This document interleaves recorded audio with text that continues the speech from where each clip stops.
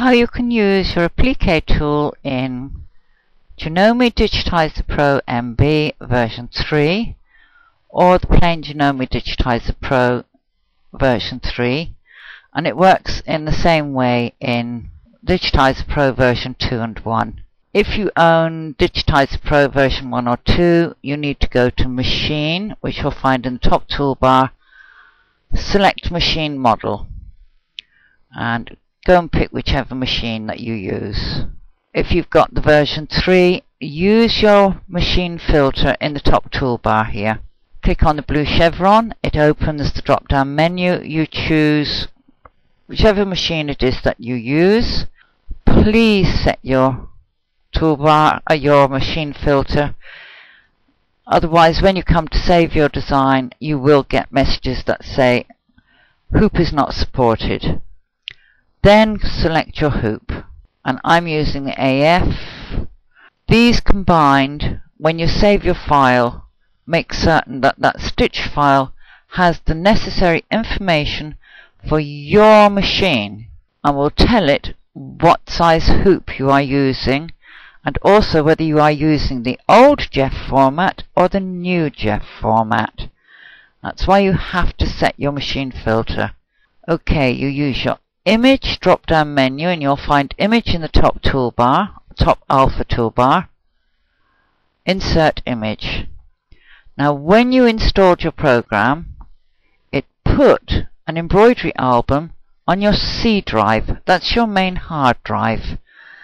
It didn't put it with the rest of the program in your program folder.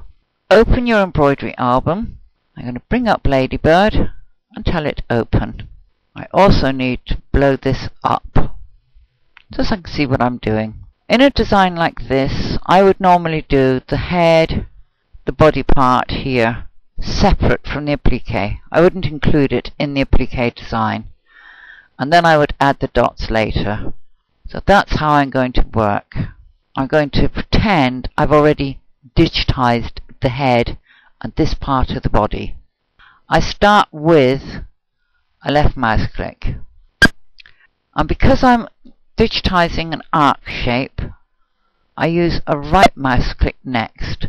And you'll see that line is straight. Now watch what happens when I lay the next right mouse click. It's curved that line. It's creating an arc for me. Now, your machine doesn't stitch curved stitches. It can't. Stitches are straight. What the program does is make certain that it's using the right length of stitch to give you the curved effect. Okay, we get down in the corner and you insert a left mouse click. You're going back up a curve again, so use a right mouse click. Left mouse click there, and I'm not going all the way to the top. It's too sharp a point, and it will create problems with the underlay, which are the stitches that the program puts in under the satin stitching. There's my arc.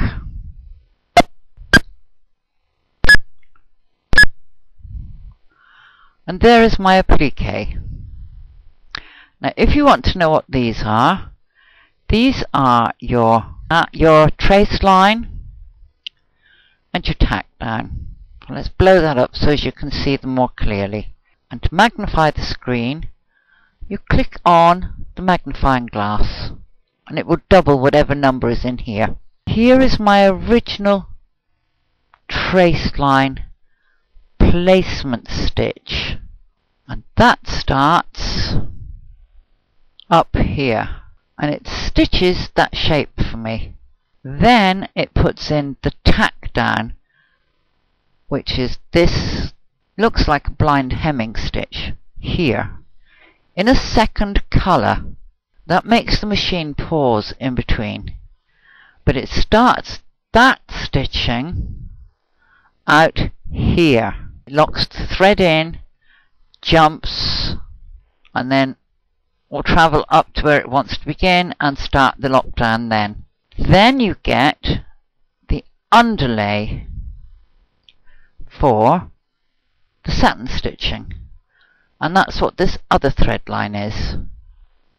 And there it is, just there. And then you get your satin stitching. And that finishes off at the top here. When you've done this, and nothing untoward has gone wrong, and it is possible if you digitize without some magnification, you might cross over your finishing points and you will end up with some very weird effects. Click on this, third icon along from the left on the bottom icon toolbar. Click on that, it's your object details applique. Now in here are your settings for your applique. It's offering you 3mm width satin stitch. Now 3mm may sound a lot to you, but it's actually not.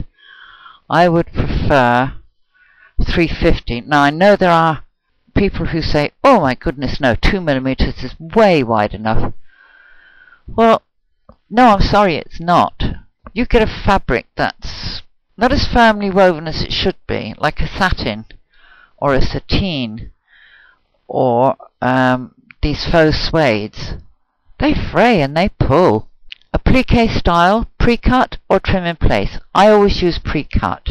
Inside is the distance inside your trace line you want this satin stitch to come over. I would rather I had a 50-50. So 50% of my stitch was on my applique fabric and 50 was on my backing fabric. So I tell that, okay. Now I've more chance of that applique fabric now staying in position and not pulling away.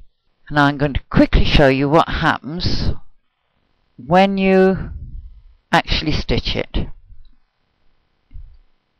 And I'll slow it down for you. First of all, it puts down your tack down line. Right. Now, this is the one that I stitch onto my applique fabric. When that has stitched, I cut that shape out just outside that stitching line. I then close my design in my machine. I hoop up my backing fabric, I put my hoop on my machine, and I start from scratch and it puts down the tack the placement line.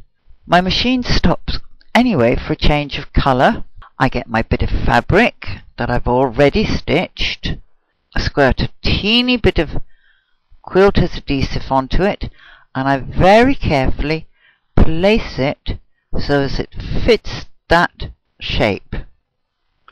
Then put the hoop back onto the machine. I don't try doing it in the machine. My eyesight's not quite good enough anymore to do that. The next thing it does is it stitches that tack down. That looks like a blind hemming stitch. And then it does the final satin stitch outline. And we can speed that up. There we go. Voila, that's that done. Okay, now the details. And let's bring the image back. We've got these dots. Well, the easiest way to do them, pick up a colour, and to make a dot, I'm just going to blow this screen up so as you can see it. Place your cursor in the centre of your dot, depress your left mouse key. Drag the cursor in the general direction that you're going to place the next one. Let go. There is your first dot. Just there. The tool is still selected. Place your cursor in the center of your next dot. Drag it in the general direction that you want your next one to go.